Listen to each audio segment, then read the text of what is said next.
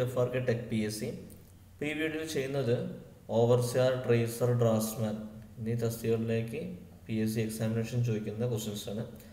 അപ്പോൾ ഇവിടെ സിവിലും മെക്കാനിക്കലും കൂടെ വരുന്ന ക്വസ്റ്റ്യൻസ് ആണ് ഈ ഒരു വീഡിയോയിൽ നമ്മൾ ഡിസ്കസ് ചെയ്യുന്നത്. അപ്പോൾ ഇതിന്റെ മുന്നുള്ള മൂന്ന് സെഷനിൽ നമ്മൾ ഡിസ്കസ് ചെയ്ത സിവിൽ ബേസ്ഡ് ക്വസ്റ്റ്യൻസ് മാത്രമാണ് ഇതിൽ നമ്മൾ മെക്കാനിക്കലും കൂടെ ഉൾപ്പെടുത്തിയിട്ടുണ്ട്. അപ്പോൾ അതായത് അതിൽ grade one grade two grade three എന്നീ രീതിയിലൊക്കെയാണ് അവിടെ എക്സാംസ് വരുന്നതെങ്കിലും സിലബസ് ഒക്കെ ഓൾമോസ്റ്റ് എല്ലാം സെയിം തന്നെയാണ്. അപ്പോൾ നമുക്ക് എക്സ്പെക്റ്റ് ചെയ്യാവുന്ന ക്വസ്റ്റ്യൻസും ഏതാണ്ട് സെയിം തന്നെയാണ് വരിക ഓക്കെ അപ്പോൾ നമ്മൾ ഇന്നത്തെ വീഡിയോ നമ്മൾ ഡിസ്കസ് ചെയ്യുന്നത് സിവിലും മെക്കാനിക്കലും കൂടെ വരുന്ന കുറച്ച് ക്വസ്റ്റ്യൻസ് ആണ്. അപ്പോൾ നമുക്ക് ഈ വീഡിയോയിലോട്ട് പോവാം. First question the longest line in chain survey work is called main line tie line base line check line അതിന്റെ ആൻസർ വരുന്നത് ബേസ് ലൈനാണ് ഓക്കെ സർവേ വർക്കിലെ ഏറ്റവും നീളത്തിലുള്ള ലൈന് വരുന്നത് ബേസ് ലൈനാണ് അത് നമുക്ക് നോക്കാം. അപ്പോൾ ഇങ്ങനെയാണ് നമുക്കൊരു സർവേ ഒരു ലാൻഡ് സർവേ ചെയ്യുമ്പോൾ നമ്മൾ എൻകൗണ്ടർ ചെയ്യുന്ന കുറച്ച് ലൈൻസ് ആണിത്. അപ്പോൾ ഇവിടെ മെയിൻ സർവേ ലൈൻ ഉണ്ട്. അപ്പോൾ മെയിൻ സർവേ ലൈൻ എന്ന് പറഞ്ഞാൽ ഏരിയ എൻക്ലോസ് ചെയ്യുന്ന ലൈനാണ് മെയിൻ സർവേ ലൈൻ ഓക്കെ ആ ഒരു ഏരിയ ഏത് ഏരിയ ആണോ നമ്മൾ സർവേ ചെയ്യുന്നത് ആ ഏരിയ എൻക്ലോസ് ചെയ്യുന്ന ആ ഒരു ലൈൻ എന്നാണ് മെയിൻ സർവേ ലൈൻ ഓക്കെ അതിൽ ഇപ്പോൾ നമ്മൾ മെയിൻ സർവേലിന് നമ്മൾ കൊടുത്തു കഴിഞ്ഞാൽ ഓരോ പോയിന്റിൽ നമ്മൾ ട്രയാങ്കിൾ നമ്മളവിടെ വെക്കും. ഓക്കെ ഇനി ബേസ് ലൈൻ എന്ന് പറഞ്ഞാൽ long survey line passing through the centre of the area അപ്പോൾ അതായത് മെയിൻ സർവേ ലൈനിൽ തന്നെ ഏറ്റവും നീളത്തിൽ നീളത്തിൽ വരുന്ന അതിന്റെ ഉള്ളിൽ കൂടെ സെന്ററിൽ കൂടെ പാസ് ചെയ്യുന്ന ഏറ്റവും നീളമുള്ള ലൈൻ അതാണ് ബേസ് ലൈൻ ഓക്കെ നമ്മൾ മെയിൻ സർവേ ലൈൻസ് വരച്ചാൽ അതിന്റെ ഉള്ളിൽ നമുക്ക് ഡയഗണലി നമുക്ക് വരയ്ക്കാൻ കഴിയുന്ന വലിയ ലൈനാണ് ബേസ് ലൈൻ ഓക്കെ അതാണ് അതുകൊണ്ട് ബേസ് ലൈനാണ് ഏറ്റവും വലിയ ലൈൻ ഇനി ടൈ ലൈൻ എന്ന് പറഞ്ഞാൽ the line joining some fixed points as a tie station on the main survey line is called tie line അപ്പോൾ നമുക്കറിയുന്ന കുറച്ച് നോൺ പോയിന്റ്സ് ആയിട്ട് നമ്മൾ കണക്ട് ചെയ്യുന്ന ഇന്റർമീഡിയറ്റ് ഒക്കെ ആയിട്ട് നമ്മൾ കണക്ട് ചെയ്യുന്ന കുറച്ച് ലൈൻസ് അതാണ് ടൈ ലൈൻസ് ഓക്കെ അതിന്റെ ഇടയിൽ ഇപ്പോൾ ഒരു മരം അങ്ങനത്തെ ഒരു പോസ്റ്റോ ഒക്കെ ഉണ്ടെങ്കിൽ നമ്മളതും പിന്നെ ഈ ബേസ് ലൈനൊക്കെ ആയിട്ട് കണക്ട് ചെയ്യുന്ന ലൈൻസ് അതാണ് ടൈ ലൈൻസ് ഒക്കെ റെഫറൻസിന് വേണ്ടി എടുക്കുന്ന ലൈൻസ് ആണ്. അതുപോലെ ചെക്ക് ലൈൻ ചെക്ക് ലൈൻ എന്ന് പറഞ്ഞു കഴിഞ്ഞാൽ ട്രയാങ്കിൾ കണ്ടോ? അവിടെ ട്രയാങ്കിൾ കണ്ടില്ല? ഈ ട്രയാങ്കിളും പിന്നെ ബേസ് ലൈനിലുള്ള ഏതെങ്കിലും ഒരു നോൺ ഏരിയ ആയിട്ട് നമ്മൾ മെഷർ വരയ്ക്കുന്ന ലൈൻ അതാണ് ചെക്ക് ലൈൻ എന്ന് പറയുന്നത്. ഇപ്പോൾ ചെക്ക് ലൈൻ പറയുമ്പോൾ നിങ്ങൾ നോക്കണം. Line join between the apex of triangle തന്നെ പ്രത്യേകം പറയും കേട്ടോ. എപ്പെക്സ് ഓഫ് ട്രയാങ്കിളും പിന്നെ some fixed point on survey line അതാണ് ചെക്ക് ലൈൻ ഇനി അടുത്ത ദിവസത്തിൽ പോവാം. Simpson's rule is used for computation of area computation of volume computation of cross section adopted in land survey അതിന് ഉത്തരം വരുന്നത് കമ്പ്യൂട്ടേഷൻ ഓഫ് ഏരിയ ആണ്. ഏരിയ ഏരിയ കമ്പ്യൂട്ട് ചെയ്യാനാണ് സിംസൺസ് റൂൾ നമ്മൾ യൂസ് ചെയ്തത്. അപ്പോൾ നമ്മൾ ട്രയാങ്കിളിന്റെ ഒക്കെ ഏരിയ ഒക്കെ സിംസൺസ് റൂൾ വെച്ച് പറയാറുണ്ട്. അപ്പോൾ നമ്മൾ സിവിലൊക്കെയാണ് നമ്മളിപ്പോൾ ഇങ്ങനെ കോംപ്ലക്സ് ആയിട്ടുള്ള ഷേപ്പിൽ നമ്മൾ കുറേ പോയിന്റ്സ് വരച്ചിട്ട് അതിനെ ഓരോ ഓർഡിനേറ്റ്സ് ആക്കി നമ്മൾ വെക്കും. എന്നിട്ട് നമ്മൾ ഇക്വേഷൻസ് വെച്ചിട്ട് അതിൽ നമുക്ക് ഏരിയ നമ്മൾ കണ്ടുപിടിക്കും. അതിനാണ് നമ്മൾ സിംസൺസ് റൂൾ അഡോപ്റ്റ് ചെയ്യുന്നത്. Okay next question clinometer is used to measure slope of the ground horizontal angle depth of cutting vertical distance clinometer എന്തിനു വേണ്ടിയിട്ടാണ് യൂസ് ചെയ്യുന്നത്? ക്ലൈനോമീറ്റർ യൂസ് ചെയ്യുന്നത് സ്ലോപ്പ് ഓഫ് ഗ്രൗണ്ട് ആണ്. ഓക്കെ നമ്മൾ ഇതിന്റെ മുന്നത്തെ വീഡിയോ നമ്മൾ ഓൾറെഡി ഡിസ്കസ് ചെയ്തൊരു കാര്യമാണ്. ക്ലൈനോമീറ്റർ പെൻഡോഗ്രാഫ് പ്ലാനിമീറ്റർ ഇതൊക്കെ നമ്മൾ ഡിസ്കസ് ചെയ്തതാണ്. ഓക്കെ അപ്പോൾ ക്ലൈനോമീറ്റർ എന്തിനാണ് യൂസ് ചെയ്യുന്നത്? Slope of the ground measure ചെയ്യാനാണ്. അതെങ്ങനെയാണ് നോക്കുക? ഇതാണ് ഒരു ക്ലൈനോമീറ്റർ ഓക്കെ.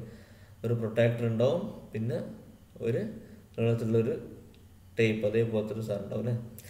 ഇനി അവിടെ നമ്മൾ എന്താക്കും? ഒരു വെയിറ്റ് നമ്മൾ താഴെ സസ്പെൻഡ് ഇപ്പോൾ ഈ വെയിറ്റ് എപ്പോഴും നേരെയുള്ള ലൈനേ കാണിക്കുള്ളൂ. അപ്പോൾ നമ്മൾ ഈ ഒരു ഈ ഒരു സ്റ്റിക്ക് ഓക്കെ ഈ ഒരു സ്റ്റിക്ക് നമ്മൾ എവിടെയാണോ നമ്മൾ അതിന്റെ ആംഗിൾ മെഷർ ചെയ്യുന്ന ആ ഒരു പ്രതലം ആ ഒരു സർഫസ് ആ സർഫസിലേക്ക് നമ്മൾ ഈ സ്റ്റിക്ക് നമ്മൾ വെച്ചെടുക്കും. അപ്പോൾ ഈ ഒരു ഈ ഒരു വെയിറ്റ് എന്തായാലും താഴേക്ക് നേരെ തന്നെ ഉണ്ടാവുള്ളൂ. അപ്പോൾ നമുക്ക് എന്ത് കിട്ടും? ഈ പ്രൊട്ടാക്ടർ നമുക്ക് ഡയറക്റ്റ് ആയിട്ട് ആംഗിൾ നമുക്ക് മെഷർ ചെയ്യാൻ കഴിയും. അപ്പോൾ ഇവിടെ കാണിച്ചിരിക്കുന്ന ഒരു ട്രീന്റെ ഏറ്റവും മുകളിലുള്ള എപ്പെക്സിലേക്കുള്ള ഒരു ആംഗിളാണ് ഗ്രൗണ്ട് എന്നുള്ള ആംഗിളാണ് ഇവിടെ അളക്കുന്നതായിട്ട് കാണിച്ചത്. ഈ താഴെ ഈ ഒരു കാണിക്കുന്നതാണ് ഈ കർസർ കാണിക്കുന്നതാണ് എന്റെ വെയിറ്റ് വെയിറ്റ് നേരെ താഴെ കാണിക്കുമ്പോൾ നമുക്ക് ഇവിടെ പ്രൊട്ടാക്ടർ നമുക്ക് ഡയറക്റ്റ് ആയിട്ട് ആംഗിളും ഇവിടെ മെഷർ ചെയ്യാൻ കഴിയും. ഓക്കെ അപ്പോൾ അതാണ് clinometer next question final setting of ordinary Portland cement is one hour six hours ten hours twenty four hours ordinary Portland സിമെന്റിന്റെ final setting time okay അത് ടെൻ ആണ്. പത്ത് മണിക്കൂർ എടുക്കും അത് ഫൈനലായിട്ട് സെറ്റ് ചെയ്യാൻ.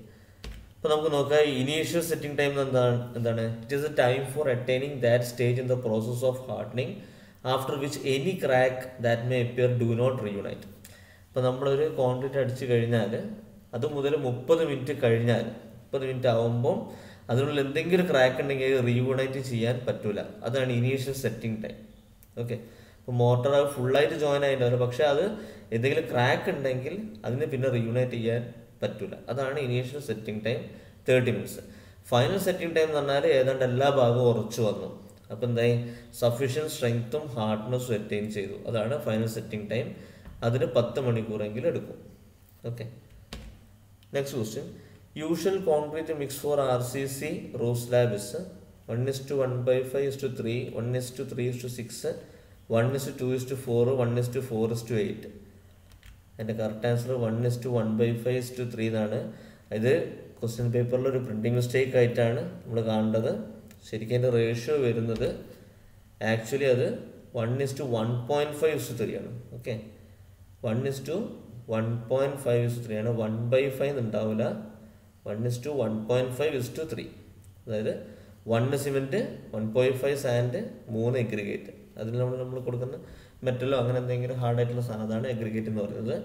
അതിന്റെ റേഷ്യോ ആണ് one is to one point five to three അതാണ് നമ്മൾ ആർ സി സി റൂസ് ലാബിൽ നമ്മൾ കൊടുക്കുന്ന ജനറൽ ആയിട്ടുള്ളൊരു മിക്സിന്റെ പ്രൊപ്പോർഷൻ ആർ സി സി എന്ന് പറഞ്ഞാൽ നോട്ട് ചെയ്ത് വെക്കുക reinforced cement concrete okay അതാണ് ആർ സി സി അടുത്ത question in quadrantal system the bearing is measured from north south north and south north south east and west ഈ quadrantal system എന്താണെന്നുള്ളത് നമ്മൾ അറിയണം.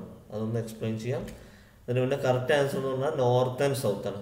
അപ്പോൾ അതെങ്ങനെ വരുന്നുള്ളത് നമുക്കൊന്ന് എക്സ്പ്ലെയിൻ ചെയ്ത് നോക്കാം. ഇവിടെ whole circle bearing and quadrantal bearing quadral quadrantal ബിയറിങ്ങിന്റെ വേറൊരു പേരാണ് റെഡ്യൂസ്ഡ് ബിയറിംഗ് ഓക്കെ ഒന്ന് നോട്ട് ചെയ്യാം കേട്ടോ. ഇത് രണ്ടും എന്തിനു വേണ്ടിയിട്ട് യൂസ് ചെയ്യുന്നത്? ഇസ് യൂസ്ഡ് ഇൻ സർവേയിങ് അതായത് ആംഗിൾ കണക്കാക്കാൻ വേണ്ടിയിട്ടാണ്. നമ്മളൊരു നിശ്ചിത പോയിന്റിൽ നിന്നും ഒബ്ജക്റ്റിലേക്കുള്ള ആംഗിൾ കണക്കാക്കാൻ വേണ്ടിയിട്ടാണ് നമ്മൾ ഈ രണ്ട് സിസ്റ്റം അഡോപ്റ്റ് ചെയ്തത്. ഹോൾ സർക്കിൾ ബിയറിങ്ങും ക്വാഡ്രാങ്കിൾ ബിയറിങ്ങും ഓക്കെ ഇപ്പോൾ സർവേ ചെയ്യുമ്പോൾ നമ്മൾ നിൽക്കുന്ന ഒരു പോയിന്റിൽ നിന്ന് ഒരു ഒബ്ജക്റ്റിലേക്കുള്ളൊരു ഡിസ്റ്റൻസും അതിന് അതുപോലെ അതിന്റെ ആംഗിൾ ആംഗിളും പിന്നെ അതെവിടെ നോർത്താണോ അല്ലെങ്കിൽ സൗത്തിലാണോ നിൽക്കുന്നത് എന്നുള്ളത് നമുക്ക് അവിടെ എഴുതേണ്ടി വരും. അപ്പോൾ നമുക്ക് എന്താ എന്ത് വേണം? അവിടുന്ന് നമ്മൾ നിൽക്കുന്ന പോയിന്റിൽ നിന്ന് ഒബ്ജക്റ്റിലേക്കുള്ള ആ ഒരു ആംഗിൾ ചെയ്യാൻ ഒരു സിസ്റ്റം നമുക്ക് അഡോപ്റ്റ് ചെയ്യണം. ഓക്കെ അതിനുള്ള രണ്ട് സിസ്റ്റമാണ് ഹോൾ സർക്കിൾ ബിയറിങ്ങും ക്വാഡ്രാൻഡൽ ബിയറിങ്ങും ഓക്കെ ഹോൾ സർക്കിൾ ബിയറിംഗ് എന്ന് പറഞ്ഞാൽ എപ്പോഴും നോർത്ത് നിന്നാണ് മെഷർ ചെയ്യുന്നത് കണ്ടോ? നിങ്ങൾ ഈ ഒരു ലൈൻസ് നോക്കിക്കഴിഞ്ഞാൽ മനസ്സിലാവും. എപ്പോഴും നോർത്ത് നിന്നാണ് നമ്മൾ മെഷർ ചെയ്യുക. അപ്പോൾ ഹോൾ സർക്കിൾ ബിയറിങ്ങിന് എപ്പോഴും ഒരു വാല്യൂ മാത്രമേ ഉണ്ടാവുള്ളൂ. ഇപ്പോൾ say sixty six degree one thirty five degree one sixty five degree two twenty five degree three one five degree അങ്ങനെ അത് പോകും. ഓക്കെ അപ്പോൾ അതായത് നോർത്തിൽ നിന്ന് തന്നെയാണ് ഇങ്ങനെ മെഷർ ചെയ്യുന്നത്. അപ്പോൾ നമുക്ക് വാല്യൂ മാത്രം മതി. ഇനി ക്വാഡ്രന്റൽ ബിയറിംഗ് ആണെങ്കിൽ ഇവിടുന്ന് നോർത്തിൽ നിന്നും ഇത്ര അപ്പോൾ north sixty six degree east അതായത് നോർത്ത് സിക്സ്റ്റി സിക്സ് ഡിഗ്രിയും ഈസ്റ്റിലാണ് ആ കിടക്കുന്ന ഓബ്ജക്റ്റ് ഇനിയിപ്പോൾ തിരിച്ചാണെങ്കിൽ നോർത്ത് തേർട്ടി ഡിഗ്രി വെസ്റ്റ് അപ്പോൾ നോർത്തിൽ നിന്ന് മുപ്പത് ഡിഗ്രി മാറിയിട്ട് വെസ്റ്റിലാണ് കിടക്കുന്നത്. അതേപോലെ സൗത്തിൽ നിന്നും മുടങ്ങും കണ്ടോ സൗത്തിൽ നടക്കുമ്പോൾ south fifteen degree east south forty five degree west അങ്ങനെയാണ് ഇത് അളക്കുന്നത്. അപ്പോൾ ഇതിന്റെ ചോദ്യം എന്ന് പറഞ്ഞാൽ കോൺട്രൽ സിസ്റ്റത്തിൽ നമുക്ക് നോർത്തിൽ നിന്നും സൗത്തിൽ നിന്നും മെഷർ ചെയ്യാൻ പറ്റും. ഓക്കെ ഇനി ആ ക്വസ്റ്റനിൽ ഇപ്പോൾ ഹോൾ സർക്കിൾ ബിയറിംഗ് ആണെങ്കിൽ ഓപ്ഷൻ എ നോർത്ത് ആയിരിക്കും കറക്റ്റ് ആവുക. അടുത്ത question the type of bonding in which all courses are laid as header bond stretcher bond Flemish bond English bond the type of in in which all courses are as as stretcher bond അപ്പോൾ നമുക്ക് ബോണ്ടിങ്ങിനെ കുറിച്ചൊന്ന് മനസ്സിലാക്കണം. അപ്പോൾ നമ്മൾ brick വെക്കുന്ന രീതിയിലാണ് ഈ bond പറയുന്നത് കേട്ടോ ഇതിപ്പോൾ ഒരു ബ്രിക്ക് ആണെങ്കിൽ സ്ട്രക്ചർ എന്ന് പറയുന്നത് ഏറ്റവും നീളത്തിലുള്ളതും ഹെഡർ എന്ന് പറയുന്നത് ചെറിയ ഡിസ്റ്റൻസ് ഉള്ളത് അതിന്റെ വിഡ്ത്തും സ്ട്രെച്ചർ എന്ന് പറഞ്ഞാൽ അതിന്റെ ലെങ്ത്തും ആണ് ഉദ്ദേശിക്കുന്നത്. ഓക്കെ അപ്പോൾ നമുക്ക് ബോണ്ട്സ് നോക്കാം. Types of bond structure bond എന്ന് പറഞ്ഞാൽ സ്ട്രെച്ചേഴ്സ് വെച്ചിട്ടുള്ള ബോണ്ട് കണ്ടോ? സ്ട്രെച്ചർ എന്ന് പറഞ്ഞാൽ നീളമാണല്ലോ ലെങ്ത് ആണല്ലോ. അപ്പോൾ ലെങ്ത്തുകൾ നീട്ടത്തിൽ ഇങ്ങനെ വെച്ച് വെച്ച് പോകുന്നതാണ്. അതാണ് സ്ട്രെച്ചർ ബോണ്ട് അതാണ് ഇപ്പൊ നമുക്ക് ക്വസ്റ്റ്യനിൽ ചോദിച്ചത്. ഹെഡർ ബോണ്ട് എന്ന് കഴിഞ്ഞാൽ ഒരു സ്ട്രെച്ചർ വെക്കും പിന്നെ കംപ്ലീറ്റ് ഹെഡർ വെക്കും. ഓക്കെ അപ്പോൾ മോൾ തൊട്ട മുകളിൽ ഫുള്ള് ഹെഡറേക്കും വെക്കുക. വീണ്ടും അടുത്തതിൽ ഒരു സ്ട്രെച്ചറും പിന്നെ ഹെഡർ എന്തിനാ അങ്ങനെ വെക്കുന്നത് വെച്ചാൽ നമുക്ക് ഈ ലൈനുകൾ ഉണ്ടല്ലോ ഓരോ ഇപ്പോൾ ഹെഡർ മാത്രം വെച്ച് പോവുകയാണെങ്കിൽ എല്ലാ ലൈനും എന്താവും? കോയിൻസൈഡ് ചെയ്യും. അപ്പോൾ അത് വീക്കസ്റ്റ് വീക്കസ്റ്റ് ആയി മാറും. അത് ഒഴിവാക്കാനാണ് ഫസ്റ്റ് ഒരു സ്ട്രക്ചർ വെക്കുന്നത്. പിന്നെ അങ്ങോട്ട് ഹെഡർ ഇനി ഇംഗ്ലീഷ് ബോണ്ട് ആണെങ്കിൽ ഇതൊക്കെ നോട്ട് ചെയ്ത് വെക്കട്ടെ. വളരെ ഇമ്പോർട്ടന്റ് ആണ്. ബോണ്ടിനെ കുറിച്ച് ഒരു ക്വസ്റ്റ്യൻ എന്തായാലും ഉണ്ടാവും. ഇംഗ്ലീഷ് ബോണ്ട് ആണെങ്കിൽ സ്ട്രക്ചറിന്റെ ഒരു കോഴ്സ് മുകളിൽ ഹെഡറിന്റെ ഒരു കോഴ്സ് വീണ്ടും സ്ട്രക്ചർ ഹെഡർ അങ്ങനെ പോകും. ഫ്ലെമിഷ് ബോണ്ട് ആണെങ്കിൽ ഹെഡർ സ്ട്രക്ചർ ഹെഡർ സ്ട്രക്ചർ അങ്ങനെ പോകും. ഓക്കെ അപ്പോൾ ആ ഒരു ബോണ്ട് ഒന്ന് മനസ്സിൽ കാണാം കേട്ടോ അടുത്ത question a portion of wall which the end of an arch rest is known as soffit abutment lintel crown ഒരു ആർച്ചിന്റെ എൻഡ് റെസ്റ്റ് ചെയ്യുന്ന വോളിന്റെ പോർഷൻ നമ്മൾ എന്താ പറയുക it is known as abutment okay അപ്പോൾ ആർച്ചിന്റെ ഒരു ഫിഗർ നമുക്ക് നോക്കാം.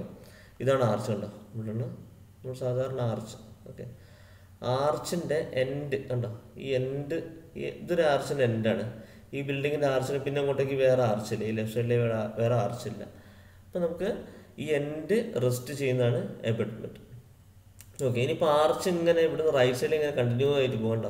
ഇത് രണ്ടാമത്തെ ആർച്ച് ഓക്കെ ഇത് ഫസ്റ്റ് താർച്ച് രണ്ടാമത്തെ ആർച്ചാണിത് അപ്പോൾ ഇതിന്റെ ഇടയിൽ വരുന്ന ആ ഒരു വോളിന്റെ പേരാണ് പയർ. ഓക്കെ എബട്ട്മെന്റ് എന്ന് പറഞ്ഞാൽ എൻഡിൽ വരുന്ന റെസ്റ്റാണ് പയർ എന്ന് പറഞ്ഞാൽ ഇന്റർമീഡിയറ്റ് ആയിട്ട് വരുന്ന റെസ്റ്റുകൾ ഓക്കെ പിന്നെ ബാക്കി ക്രൗൺ ഉണ്ട്. എക്സ്ട്രാ ഡോസ് എന്ന ആർച്ചിന്റെ പുറംഭാഗം ഇൻട്രാഡോസ് എന്ന ആർച്ചിന്റെ ഉൾഭാഗം അങ്ങനെ കുറച്ച് കാര്യങ്ങളുണ്ട്. അപ്പോൾ നമുക്കിനി അടുത്ത ക്വസ്റ്റ്യൻ പേപ്പേഴ്സിലൊക്കെ നമുക്ക് ഡിസ്കസ് ചെയ്യാം. നമുക്കിനി അടുത്ത ക്വസ്റ്റിനിൽ പോകാം the projection of head or sill of a door or window frame are horns stops holdfast chocks correct വരുന്നത് ഹോൺസ് ആണ്. അത് നോക്കിയാൽ നിങ്ങൾക്ക് പെട്ടെന്ന് മനസ്സിലാവും. ഇത് കണ്ടോ? അപ്പോൾ ഈ ഒരു ഒരു നമ്മൾ കട്ട്ല എന്ന് പറയുമല്ലോ അത് തന്നെയാണ് സംഭവം. അപ്പോൾ ഈ ഒരു ഡോർ ഫ്രെയിം കുറച്ച് കുറച്ചൊന്ന് നീണ്ടു കിടക്കട്ടല്ലേ അതാണ് ഹോൺ ഈ ഒരു ഭാഗത്ത് മുകളിലാണ് ഹോൺ കണ്ടില്ലേ? ചെറിയൊരു ഭാഗം പുറത്തേക്ക് പ്രൊജക്റ്റ് ചെയ്ത് എടുക്കണില്ലേ അതാണ് ഒരു ഉദ്ദേശിച്ചത്. പ്രൊജക്ഷൻ ഓഫ് ഹെഡ് ഇതാണ് ഹെഡ് കണ്ടില്ലേ? ഹെഡിന്റെ ഒരു ഭാഗം പ്രൊജക്റ്റ് ചെയ്ത് കിടക്കും. ആ ഭാഗത്തിനാണ് നമ്മൾ ഹോൺ വിളിക്കുന്നത്. മോൾ ഭാഗത്ത് ഇവിടെ കാണുന്നുണ്ട്. ഓക്കെ അപ്പോൾ വേറെയും കുറേ കാര്യങ്ങൾ നമുക്കിവിടെ നോക്കുന്നുണ്ട് ഇപ്പോൾ ഈ ഒരു ക്വസ്റ്റിനിൽ ചോദിച്ചത് ഹോണിനെ പറ്റിയിട്ടാണ്. അതാണ് ഈ ഭാഗം ഉദ്ദേശിക്കുന്നത്. ഓക്കെ നമുക്ക് അടുത്ത ക്വസ്റ്റിനിലേക്ക് പോവാം. In ordinary residential public building the D P C is provided at lintel level ground level plinth level sill level എന്റെ ആൻസർ വരുന്നത് പ്ലിന്ത് ലെവലാണ് ഇപ്പോൾ ഡി പി സി എന്ന് പറഞ്ഞാൽ നമുക്ക് ഡാംപ് പ്രൂഫിംഗ് കോഴ്സ് കേട്ടോ ഡാംപ് പ്രൂഫ് കോഴ്സ് അതാണ് എന്റെ ഫുൾ പേര് കേട്ടോ ഡാംപ് പ്രൂഫ് കോഴ്സ് ഇപ്പോൾ ഡാം പ്രൂഫ് കോഴ്സ് എന്തിനാണെന്ന് വെച്ചാൽ മോയ്സ്ചർ കൺട്രോൾ ചെയ്യാനാണ്. അപ്പോൾ നമ്മൾ അത് കൊടുത്തു കഴിഞ്ഞാൽ സാധാരണ നമ്മൾ ബിൽഡിംഗ് കൺസ്ട്രക്ട് ചെയ്യുമ്പോൾ ഒരു ഡാം പ്രൂഫ് കോഴ്സ് കൊടുക്കും പ്ലിന്ത് ലെവലിൽ അപ്പോൾ എന്താ വെച്ചാൽ അടിയിൽ നിന്നുള്ള ഈർപ്പം മുകളിലേക്ക് കാപ്പിലറി റൈസിൽ കാപ്പിലറി റൈസ് കൂടെ മുകളിലേക്ക് വരുന്നത് അത് തടയും. ഓക്കെ ഒരു കാപ്പിലറി റിയാക്ഷൻ ഉണ്ടാകുമ്പോൾ എന്താവും? താഴെ നിന്ന് മോയ്സ്ചറിന്റെ മുകളിലേക്ക് വലിച്ചിട്ട് നമ്മുടെ വീട്ടിന്റെ ഉൾഭാഗത്തേക്ക് എത്തിക്കും. അല്ലേ? അപ്പോൾ അത് തടയാൻ വേണ്ടിയിട്ടാണ് ഡാമ്പ് പ്രൂഫ് കോഴ്സ് കൊടുത്തത്. അത് കൊടുത്തേക്കുന്നത് പ്ലിന്ത് ലെവലിലാണ് അപ്പോൾ ഇതിന്റെ ഫിഗർ ഒന്ന് നോക്കുക ഇതാണ് ഡാമ്പ് പ്രൂഫ് കോഴ്സ് ഉണ്ടോ ഡാം പ്രൂഫ് കോഴ്സ് താഴെ കൂടെ ഇങ്ങനെ കൊടുത്തിട്ടുണ്ടാവും. അപ്പോൾ ഈ സാൻഡിൽ നിന്നും കോൺക്രീറ്റിൽ നിന്നും ഇവിടെ നിന്നുള്ള ഈ ഒരു മോയ്സ്ചറൊന്നും മുകളിലേക്ക് വരില്ല ഓക്കെ മുകളിലേക്ക് വന്നു കഴിഞ്ഞാൽ നമുക്ക് ഈ കോൺക്രീറ്റ് ഒക്കെ നശിച്ചു പോകും. മോയ്സ്ചർ എപ്പോഴും ഇങ്ങനെ വന്നിട്ടൊക്കെയാണെങ്കിൽ ആ ഒരു ഭാഗം നശിച്ചു പോകും. അതിന് വേണ്ടിയിട്ടാണ് ഡാം പ്രൂഫ് കോഴ്സ് കൊടുത്തത്. അത് ഗ്രൗണ്ട് ലെവലിന്റെ മുകളിൽ പ്ലിന്ത് ലെവലിന്റെ ആ ഒരു ലെവലിലാണ് കൊടുക്കുക. അടുത്തത് in an I C engine spark plug is used in അപ്പോൾ മെക്കാനിക്കലിലേക്ക് വന്നു. ഇപ്പോൾ നമ്മൾ ഈ ഡിസ്കസ് ചെയ്ത പത്ത് ക്വസ്റ്റ്യൻ സിവിലാണ് ഇനി ഒരു അഞ്ച് ക്വസ്റ്റ്യൻ മെക്കാനിക്കലാണ് പറയുന്നത്. In an I C engine spark plug is used in diesel engine petrol engine both petrol and diesel engine none of the above അതിന്റെ ആൻസർ വരുന്നത് പെട്രോൾ എഞ്ചിനാണ് ഐ സി എഞ്ചിൻ എന്ന് പറഞ്ഞാൽ ഇന്റേർണൽ കമ്പസ്റ്റൻ എഞ്ചിൻ അതിൽ spark plug എവിടെ use ചെയ്യുക petrol എഞ്ചിനിലാണ് use ചെയ്യുക ഒന്ന് നോക്കി നോക്കാം. ഇപ്പോൾ ഇവിടെ ഒരു കമ്പാരിസൺ കൊടുത്താണ് പെട്രോൾ എഞ്ചിനാണ് ഇവിടെ ലെഫ്റ്റ് സൈഡ് കൊടുത്തത്. ഇവിടെ റൈറ്റ് സൈഡിൽ കൊടുത്ത ഈ എന്ത്? ഡീസൽ എഞ്ചിൻ സോ പെട്രോൾ എഞ്ചിനിലാണ് സ്പാർക്ക് പ്ലഗ് വരുന്നത് കണ്ടോ? സ്പാർക്ക് പ്ലഗ് വരുന്നത്. അപ്പോൾ സ്പാർക്ക് പ്ലഗ് എന്താ ചെയ്യുന്നത് വെച്ചാൽ ഫ്യൂവലിനെ ഉള്ളിൽ വരും ഉള്ളിൽ വന്നു കഴിഞ്ഞാൽ ഉള്ളിൽ ഫ്യൂവൽ വന്നു കഴിഞ്ഞാൽ കംപ്രസ് ചെയ്യും. കംപ്രസ് ചെയ്ത് കഴിഞ്ഞാൽ അടുത്ത പവർ സ്ട്രോക്ക് നമുക്ക് ഫോർ സ്ട്രോക്കിന്റെ ഒരു ക്വസ്റ്റ്യൻ വരുന്നുണ്ട്. കഴിഞ്ഞാൽ ഒന്നുകൂടെ ഡിസ്ക്രൈബ് ചെയ്യാം. അവിടെ വെച്ചിട്ട് ഫ്യൂവലിന് ഒരു ഇഗ്നീഷൻ കൊടുക്കാനാണ്. ഓക്കെ ഒരു ഇഗ്നീഷൻ കൊടുക്കാനാണ് സ്പാർക്ക് പ്ലഗ് യൂസ് ചെയ്യുന്നത്. അതിന് നമ്മുടെ വണ്ടികളിലൊക്കെ ഒരു ഇലക്ട്രിക്കൽ യൂണിറ്റ് ഉണ്ടാവും. ആ ടൈമിങ്ങിൽ ഇഗ്നീഷൻ കൊടുക്കാൻ സ്പാർക്ക് കൊടുക്കാൻ ഒരു ഇലക്ട്രിക്കൽ യൂണിറ്റ് ഉണ്ടാവും. ഓക്കെ ഫ്യൂവൽ ഇഞ്ചക്ടർ എന്ന് പറഞ്ഞാൽ ഡീസൽ എഞ്ചിനിലാണ് യൂസ് ചെയ്യുക ഓക്കെ ഫ്യൂൽ ഇഞ്ചക്ടർ എന്ന് പറഞ്ഞാൽ ഡീസൽ എഞ്ചിനിൽ യൂസ് ചെയ്യുന്ന സാധനമാണ് അതും ഈ സ്പാർക്ക് പ്ലഗിന്റെ ടൈമിങ്ങിൽ ഫ്യൂൽ ഇഞ്ചക്ട് ചെയ്യാൻ വേണ്ടിയിട്ടാണ് ഫ്യൂൽ ഇഞ്ചക്ടർ യൂസ് ചെയ്യുന്നത്. സോ പെട്രോൾ എഞ്ചിനിൽ എയറും ഫ്യൂവലിന്റെ ഒരു മിക്സ്ചറാണ് ഉള്ളിലേക്ക് കയറുന്നത്. ഡീസൽ എഞ്ചിനിൽ എന്ന് പറഞ്ഞാൽ കംപ്രസ് എയർ മാത്രമേ കയറുന്നുള്ളൂ ഇവിടെ. ഓക്കെ? എയർ മാത്രമേ കയറുന്നുള്ളൂ ഉള്ളിൽ ഫ്യൂവൽ നമ്മൾ പിന്നീട് നമ്മൾ ഇഞ്ചക്ട് ചെയ്ത് കൊടുക്കുകയാണ് ചെയ്യുന്നത്. അതുകൊണ്ടാണ് ഫ്യൂവൽ ഇഞ്ചക്ടർ അവിടെ യൂസ് ചെയ്യുന്നത്. ഓക്കെ? സോ പെട്രോൾ എഞ്ചിനിൽ സ്പാർക്ക് പ്ലഗ് ഡീസൽ എഞ്ചിനിൽ ഫ്യൂൽ ഇഞ്ചക്ടർ ഇത് ഇമ്പോർട്ടന്റ് ആയിട്ട് ചോദിക്കുന്ന ഒരു ക്വസ്റ്റ്യൻ കേട്ടോ. അടുത്ത question.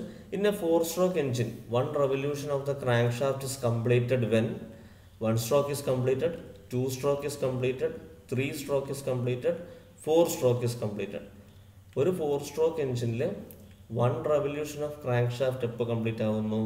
എത്ര സ്ട്രോക്ക് കംപ്ലീറ്റ് ആകുമ്പോഴാണ് കംപ്ലീറ്റ് ആവുന്നത്? അത് രണ്ട് സ്ട്രോക്ക് കംപ്ലീറ്റ് ആകുമ്പോഴാണ് ഒരു റെവല്യൂഷൻ കംപ്ലീറ്റ് ആവുന്നത്. ഓക്കെ അപ്പോൾ നമുക്ക് ഫോർ സ്ട്രോക്ക് എഞ്ചിന്റെ വർക്കിംഗ് ജസ്റ്റ് നമുക്കൊന്ന് നോക്കാം. എങ്ങനെയാണ് അതിന്റെ ഫോർ സ്ട്രോക്ക് എഞ്ചിന്റെ വർക്കിംഗ് നടക്കുന്നത്? ഫോർ സ്ട്രോക്ക് സൈക്കിൾ ഇതാണ് നാല് സൈക്കിൾ നാല് സ്ട്രോക്ക് സൈക്കിൾ ഓക്കെ നാല് stroke intake compression power exhaust okay ഇൻടേക്കിൽ എന്താ നടക്കുന്നത്? ഇൻടേക്കിൽ എന്ന് പറഞ്ഞാൽ ഇവിടെ ഒന്ന് ശ്രദ്ധിച്ചാൽ മതി.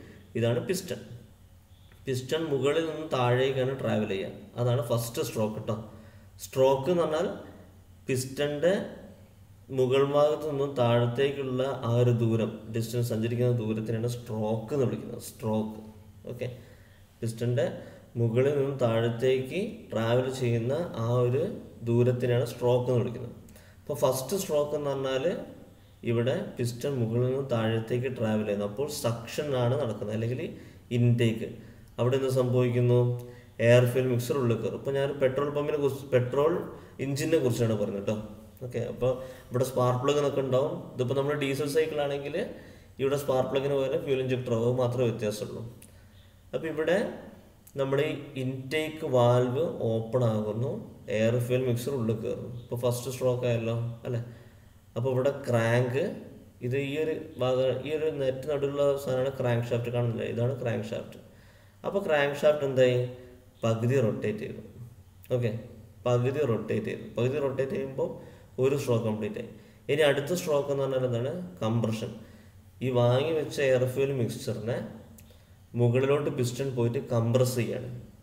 ആ സമയത്ത് ഇൻലെറ്റ് വാൽവ് എക്സോസ്റ്റ് വാൽവ് ഒക്കെ ക്ലോസ്ഡ് ആണ്. അപ്പോൾ എയർ ഫ്യൂൽ മിക്സറിന് എവിടെയും പോകാൻ സ്ഥലമില്ല. അതുകൊണ്ട് എന്താവും? ഈ പിസ്റ്റൺ മുകളിലേക്ക് വരുമ്പോൾ ആ ഒരു എയർ ഫ്യൂൽ മിക്സർ കംപ്രസ് ആവും. അപ്പോൾ ആ ഒരു സമയം ഈ ക്രാങ്ക് ഷാഫ്റ്റ് ഒരു അര റൊട്ടേഷനും കൂടെ കറങ്ങിയിട്ട് ഒരു ഫുൾ റൊട്ടേഷനായി ഓക്കെ അപ്പോൾ ഇവിടെ ഇൻടേക്ക് ഇതിൽ ക്രാങ്ക് ഷാഫ്റ്റ് ഒരു പകുതി റൊട്ടേറ്റ് ചെയ്തപ്പം ഒരു സ്ട്രോക്ക് താന്നു. ഇനി അടുത്ത പകുതി റൊട്ടേഷനിൽ ഒരു സ്ട്രോക്കും കൂടെ പോയി കംപ്രഷൻ സ്ട്രോക്ക് അപ്പോൾ എന്ത് ഒരു ക്രാങ്ക് ഷാഫ്റ്റ് ഈ ക്രാങ്ക് ഷാഫ്റ്റ് ഒരു റൊട്ടേഷൻ കറങ്ങി. ഓക്കെ ഇനി ഇതേപോലെ അടുത്ത ഹാഫ് റൊട്ടേഷനിൽ എന്ത് സംഭവിക്കുന്നു? ഇവിടെ സ്പാർക്ക് പ്ലഗ് ഇഗ്നൈറ്റ് ആവുന്നു പൊട്ടിത്തെറിക്കുന്നു. അപ്പോൾ ഇവിടെ ഒരു കമ്പഷൻ നടന്നു. ഓക്കെ കമ്പഷൻ നടന്നപ്പം പിസ്റ്റണിനെ താഴോട്ടേക്ക് എഞ്ചിൻ ഇറക്കി. ഓക്കെ അപ്പോൾ എന്തായി ക്രാങ്ക് ഷാഫ്റ്റ് ഒരു അര റൊട്ടേഷൻ കൂടെ കറങ്ങി. ഇനി അടുത്ത അര റൊട്ടേഷനിൽ എന്താവും? വീണ്ടും പിസ്റ്റൺ മുകളിലേക്ക് പോകും. അപ്പോൾ മുകളിലേക്ക് പോകുമ്പോൾ എന്താവും? വീണ്ടും കംപ്രസ് ചെയ്യാണ്. പക്ഷേ ആ സമയം എക്സോസ്റ്റ് വാൽവ് തുറക്കും കണ്ടോ? എക്സോസ്റ്റ് വാൽവ് തുറക്കും. അപ്പോൾ എന്താ കംപ്രഷൻ ഒന്നും ഉണ്ടാവില്ല. അപ്പോൾ ഇവിടെ ഈ ഒരു ബേൺ പ്രൊഡക്ട്സ് ഒക്കെ ഉണ്ടാവുക അതായത് കത്തിച്ചു. ആ ഒരു എയർ ഫ്യൂമിഷനെ കത്തിച്ചപ്പോൾ എന്തായി? പിന്നെ ബാക്കി ഒരു പുക ഉണ്ടാവും അവിടെ അല്ലേ? ആ പുകേനെ നമ്മൾ പുറത്തേക്ക് എക്സോസ്റ്റിൽ വിട്ടു. ഓക്കെ അതാണ് ഫോർ സ്ട്രോക്ക് സൈക്കിൾ അപ്പോൾ ഇവിടെ ക്വസ്റ്റ്യൻ പറഞ്ഞാൽ ഫോർ സ്ട്രോക്ക് എഞ്ചിനിൽ one revolution of crank shaft അപ്പോൾ one revolution of crank shaft എന്ന് പറഞ്ഞാൽ ഇവിടെ നോക്കുക ഇൻടേക്കിൽ അരഭാഗം കറങ്ങി. അപ്പോൾ ഒരു സ്ട്രോക്ക് ഇങ്ങോട്ട് വന്നു. വീണ്ടും അരഭാഗം കയറി ഇവിടെ രണ്ടാമത്തെ സ്ട്രോക്കിൽ അപ്പോൾ വീണ്ടും ഇങ്ങോട്ട് സ്ട്രോക്ക് പിസ്റ്റൺ മുകളിലോട്ട് മതി അപ്പോൾ ഈ രണ്ടും കൂടെ കൂടുമ്പോഴാണ് ഒരു ഫുൾ റെവല്യൂഷൻ ആവുന്നത് ക്രാങ്ക് ഷാഫ്റ്റിൽ അല്ലേ? അപ്പോൾ ഒരു ഫുൾ റെവല്യൂഷൻ ക്രാങ്ക് ഷാഫ്റ്റിലാവണമെങ്കിൽ രണ്ട് സ്ട്രോക്ക് വേണം ഉണ്ടോ അതാണ് അതിന്റെ അർത്ഥം. മനസ്സിലായില്ലേ? ഇനി next question in a two stroke engine one revolution of crank shaft makes the cam shaft to rotate one full rotation half rotation two full rotation cam shaft will not rotate with crank shaft അപ്പോൾ അതിന്റെ ഉത്തരം വരുന്നത് half റൊട്ടേഷനാണ് okay അതായത് two stroke എഞ്ചിനിൽ one revolution of crank shaft ഒരു crank shaft ഒരു പ്രാവശ്യം റൊട്ടേറ്റ് ചെയ്യുമ്പോൾ ക്യാം ഷാഫ്റ്റ് എത്ര പ്രാവശ്യം റൊട്ടേറ്റ് ചെയ്യുന്നു? അത് അര പ്രാവശ്യം അതായത് ഹാഫ് റൊട്ടേഷനേ ആവുള്ളൂ. അതെങ്ങനെയാണ് നമുക്ക് നോക്കാം? ഇപ്പം ഇവിടെ ഒരു ക്രാങ്ക് ഷാഫ്റ്റ് ഉണ്ട് ഒരു ക്യാം ഷാഫ്റ്റ് ഉണ്ട്. ഇപ്പോൾ ക്രാങ്ക് ഷാഫ്റ്റ് ഇവിടെ റൊട്ടേറ്റ് ചെയ്യുന്നത് കണ്ടോ? ക്രാങ്ക് ഷാഫ്റ്റ് എന്ന് പറഞ്ഞാൽ ചെറിയ ഗിയറാണ് അല്ലേ? ക്രാങ്ക് ഷാഫ്റ്റ് ഇവിടെ നോക്കുകയാണെങ്കിൽ ഒരു ചെറിയ ഗിയറാണ് ഇവിടെ ക്യാം ഷാഫ്റ്റ് എന്ന് പറഞ്ഞാൽ വലിയ ഗിയറാണ് ക്യാം ഷാഫ്റ്റ് സാധാരണ എന്തിനു വേണ്ടിയിട്ട് യൂസ് ചെയ്യുന്നത് വെച്ചാൽ വാൽവുകളെ കൺട്രോൾ ചെയ്യാനാണ് യൂസ് ചെയ്യുക ഓക്കെ വാൽവിനെ കൺട്രോൾ ചെയ്യാൻ. നമ്മൾ നേരത്തെ പറഞ്ഞു ഇൻലെറ്റ് വാൽവ് എക്സോസ്റ്റ് വാൽവ് അതിനെ ഓപ്പറേറ്റ് ചെയ്യുന്ന സാധനമാണ് ക്യാം ഷാഫ്റ്റ് ഓക്കെ അപ്പോൾ ഇവിടെ ക്രാങ്ക് ഷാഫ്റ്റ് എന്താ സംഭവിക്കുന്നത്? ചെറിയ ഗിയറാണ് അതാണ് ഈ വലിയ ഗിയറിനെ റൺ അയക്കുന്നത് അപ്പോൾ നമ്മൾ ആലോചിച്ച് നോക്കുക ഈ ചെറിയ ഗിയർ രണ്ട് പ്രാവശ്യം റൊട്ടേറ്റ് ചെയ്യുമ്പോഴാണ് ക്യാം ഷാഫ്റ്റ് ഒരു പ്രാവശ്യം റൊട്ടേറ്റ് ആവുന്നത്. ഓക്കെ ക്രാങ്ക് ഷാഫ്റ്റ് രണ്ട് പ്രാവശ്യം റൊട്ടേറ്റ് ചെയ്യുമ്പോഴേ ഈ ക്യാം ഷാഫ്റ്റ് ഒരു പ്രാവശ്യം റൊട്ടേറ്റ് ആവുള്ളൂ. കാരണം വലിയ ഗിയർ അല്ലേ? അപ്പം നിങ്ങളൊന്ന് ആലോചിച്ച് നോക്കിയാൽ മതി. വലിയ ഗിയർ എന്ന് പറയുമ്പോൾ അങ്ങനെയല്ലേ വരിക? ചെറിയ ഗിയർ രണ്ട് പ്രാവശ്യം റൊട്ടേറ്റ് ചെയ്യുമ്പോഴാണ് വലിയ ഗിയർ ഒരു പ്രാവശ്യം റൊട്ടേറ്റ് ആവുന്നത് അല്ലേ? അപ്പോൾ ക്രാങ്ക് ഷാഫ്റ്റ് ഒരു പ്രാവശ്യം റൊട്ടേറ്റ് ആവുകയാണെങ്കിൽ ക്യാം ഷാഫ്റ്റ് അര പ്രാവശ്യം റൊട്ടേറ്റ് ആവുള്ളൂ. ഓക്കെ ഇപ്പോൾ ക്രാങ്ക് ഷാഫ്റ്റ് ഒരു പ്രാവശ്യമാണ് റൊട്ടേറ്റ് ചെയ്യുന്നതെങ്കിൽ അതിന്റെ ക്രാ ക്യാം ഷാഫ്റ്റിൽ എന്തായിരിക്കും പകുതി റൊട്ടേഷൻ ആയിട്ടുണ്ടാവുള്ളൂ. അതാണ് ക്വസ്റ്റ്യൻ ഓക്കെ ഇനി നിങ്ങൾ നോട്ട് ചെയ്യേണ്ട ഒരു കാര്യം പറയാണ്. നമ്മുടെ ക്വസ്റ്റ്യൻ പേപ്പറിൽ വന്നൊരു ക്വസ്റ്റ്യൻ കേട്ടോ അത്. In a two stroke engine one revolution of the crank shaft makes cam shaft to rotate എന്നുള്ളത് കേട്ടോ അത് ക്വസ്റ്റ്യൻ പേപ്പറിൽ വന്ന ക്വസ്റ്റ്യൻ ആണ്. അതിൽ ഓപ്ഷൻ ബി ഹാഫ് റൊട്ടേഷൻ എന്നാണ് ഉള്ളത്. Okay option B half rotation എന്നാണ് ഉള്ളത്. പക്ഷെ നിങ്ങൾ നോട്ട് ചെയ്യേണ്ട കാര്യം എന്താണെന്ന് വെച്ചാൽ ടു സ്ട്രോക്ക് എഞ്ചിനിൽ ക്യാം ഷാഫ്റ്റ് എന്ന് പറഞ്ഞ സാധനം ഉണ്ടാവില്ല. ഓക്കെ ടു സ്ട്രോക്ക് എഞ്ചിനിൽ പറഞ്ഞാൽ അതായത് ടു സ്ട്രോക്ക് എഞ്ചിനിൽ വാൽവുകൾ ഉണ്ടാവില്ല. പോർട്ടുകളാണ് ഉണ്ടാവുക. ശ്രദ്ധിച്ചോ? വാൽവുകൾ ഉണ്ടാവില്ല പോർട്ടുകളാണ് ഉണ്ടാവുക അത് നമുക്ക് അടുത്തൊരു ക്വസ്റ്റ്യൻ വരുന്നുണ്ട് അപ്പോൾ നിങ്ങൾക്ക് മനസ്സിലാവും. ടു സ്ട്രോക്ക് എഞ്ചിനെ പറ്റി അടുത്തൊരു ക്വസ്റ്റ്യൻ വരുന്നുണ്ട്. അപ്പോൾ ഈ ക്യാം ഷാഫ്റ്റ് എന്ന് ഉദ്ദേശിക്കുന്ന വാൽവുകളെ കൺട്രോൾ ചെയ്യാനാണ്. ക്യാം ഷാഫ്റ്റ് എന്ന് ഉദ്ദേശിക്കുന്നത് വാൽവുകളെ കൺട്രോൾ ചെയ്യാനാണ്. അത് ടു സ്ട്രോക്ക് എഞ്ചിനിൽ ഉണ്ടാകാത്തതുകൊണ്ട് ക്യാം ഷാഫ്റ്റിന്റെ ആവശ്യമില്ല.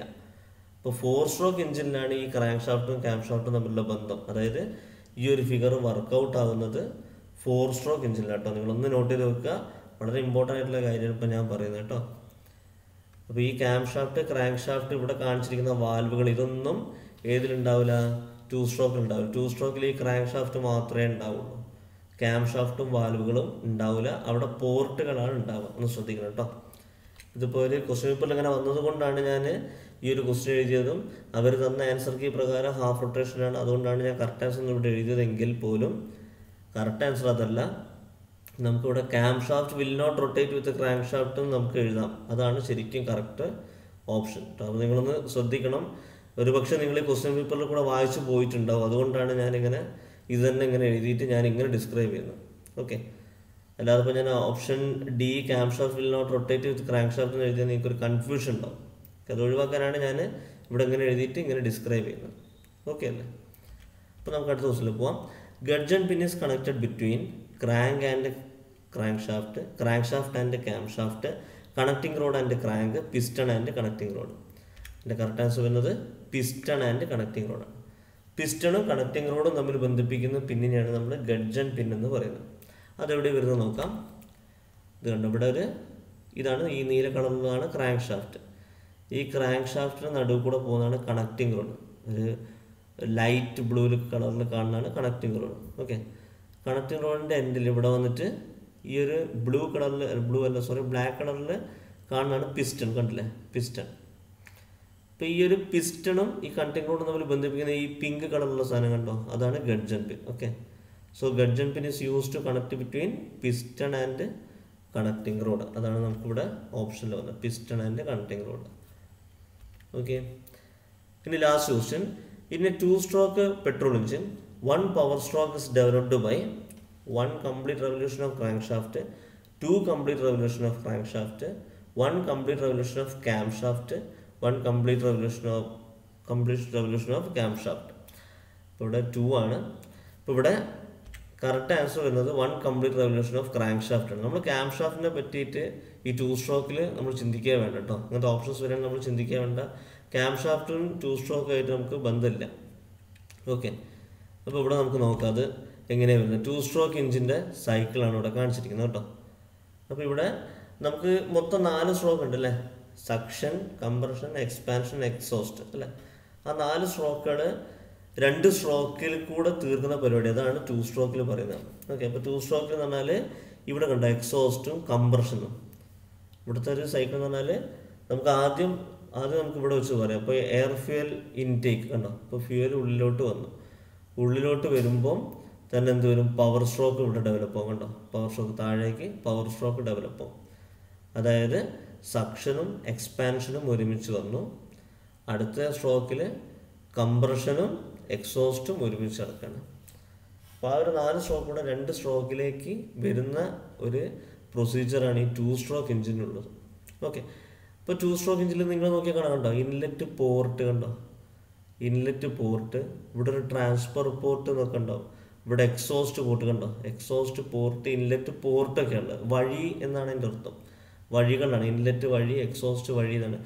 അല്ലാതെ അതിന് വേണ്ടി പ്രത്യേകം വാൽവുകളില്ല അപ്പോൾ ഈ വാൽവുകളെയാണ് ക്യാം ഷാഫ്റ്റ് നിയന്ത്രിക്കുന്നത്. അതുകൊണ്ട് തന്നെ ക്യാം ഷാഫ്റ്റിന്റെ ആവശ്യം ടു സ്ട്രോക്കിനില്ല അപ്പോൾ ഇവിടെ നോക്കാം. ഒരു ഒരു സ്ട്രോക്ക് ഇപ്പോൾ നമ്മൾ നേരത്തെ പഠിച്ചെന്താ ഫോർ സ്ട്രോക്കിൽ ഒരു സ്ട്രോക്ക് നീങ്ങാൻ ക്രാങ്ക് ഷാഫ്റ്റ് അര പ്രാവശ്യം റൊട്ടേറ്റ് ചെയ്യണം. ഹാഫ് റൊട്ടേഷനാണ് വേണ്ടത്. ഒരു ക്രാങ്ക് ഹാഫ് റൊട്ടേഷൻ ആകുമ്പോഴാണ് ഒരു ഒരു സ്ട്രോക്ക് കംപ്ലീറ്റ് ചെയ്യുന്നത്. അടുത്ത സ്ട്രോക്കിന് വീണ്ടും ഒരു ഹാഫ് റൊട്ടേഷൻ ഓക്കെ അപ്പോഴേക്കും ഒരു പവർ അവിടെ നമുക്ക് കിട്ടിക്കഴിഞ്ഞു. ഓക്കെ അപ്പോഴേക്കും നമുക്കൊരു പവർ അവിടെ കിട്ടിക്കഴിഞ്ഞു.